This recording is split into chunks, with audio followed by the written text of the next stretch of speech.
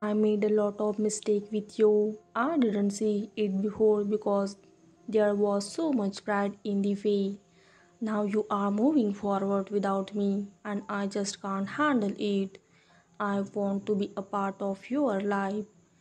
You are attracting attention from different men as your vibration has shifted, but it's making me extreme comfortable because I don't like when others get to spend time with you.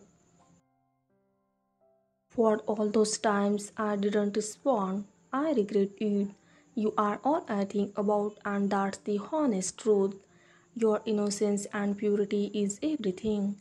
You stand out from everyone because you are honest and loyal. You know how to treat your partner and you value relationships and commitment unlike others who just get into relationship for time pass or just to have some temporary fun.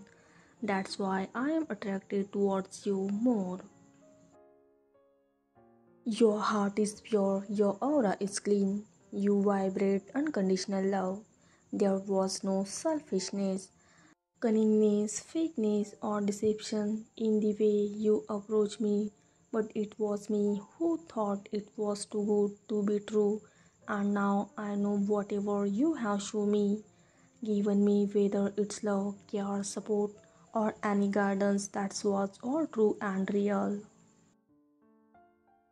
Good things and good people also exist in this world. I realized it after meeting with you. I was hurt and blaming you unnecessarily.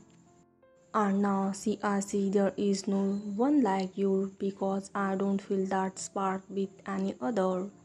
I know all eyes are on you and holding back feels more painful.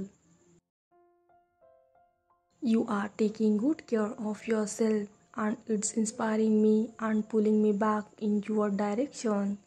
You are not bothered by anything I am doing or not doing. What does this mean? It means you have made your mind to move on, or it means you are healed from trauma and wounding. You know I miss being around you. Your gentle and calming nature helped me to express my love with words and communication. All I want is you and your hundred questions because silent hurts the most. I like your bubbly and talkative nature, and when you are quiet or silent, it doesn't suit you. You are the most beautiful woman in my life, the only one I would ever like to open up. I can't get enough of you. You have changed so much, wishing I treated you better. Now I see you can't be replaced. Thank you for watching.